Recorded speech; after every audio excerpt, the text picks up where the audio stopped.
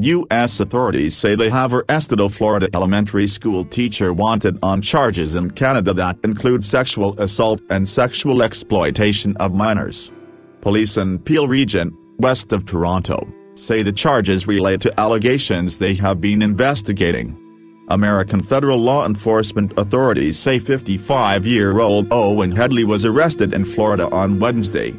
They say Palm Beach County school officials removed Headley from his teaching position at Hammock Pointe Elementary School last year after hearing of allegations that came from police in the Greater Toronto area.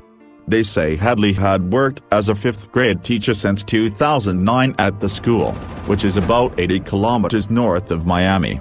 Peel police say they expect to provide more information after Headley is extradited to Canada.